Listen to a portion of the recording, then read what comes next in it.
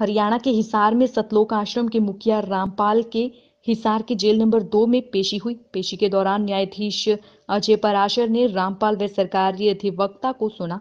रामपाल के सतलोक आश्रम से जुड़े मुकदमा नंबर 426 व 427 में सरकारी ड्यूटी में बाधा डालने व आश्रम में महिलाओं को बंदी बनाने के मामले में अदालत ने फैसला सुनाया, जिसमें रामपाल सहित अन्य को इन दोनों मामलों में बरी कर दिया।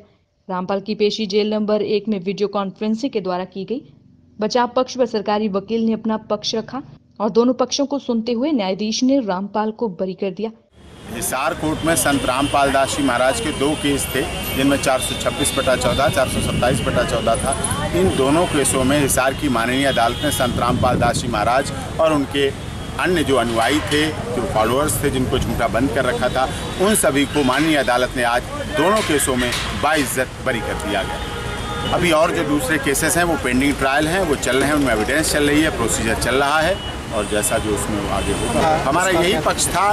देखिए आप सबको पता है संत रामपाल दास जी के समर्थक फॉलोअर्स उनके शिष्य गुवाहाटी से चौपाटी कन्याकुमारी से कश्मीर तक के। हैं अपने आप आते हैं अपने आप जाते हैं भक्ति करते हैं मिलता है उन्हें झोली भर के चले जाते हैं फिर आ जाते हैं अपनी झोली खाली करके फिर लेने आ जाते हैं। तो वो अपने आप आते हैं इसमें कोई ना बुलाते हैं ना कुछ।